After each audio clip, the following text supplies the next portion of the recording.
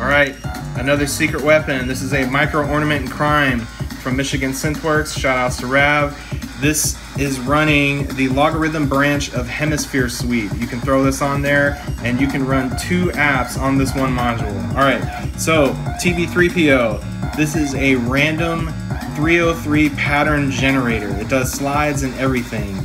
And all you have to do is turn the knob and you get a new pattern. You can also send it a trigger on the second trigger input and that will trigger a new pattern as well, just a clock tick.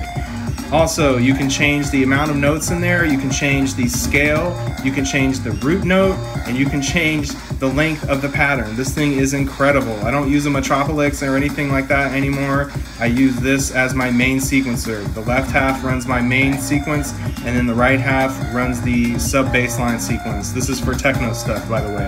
Um, but right now, I'm just having fun doing this IDM stuff. All right.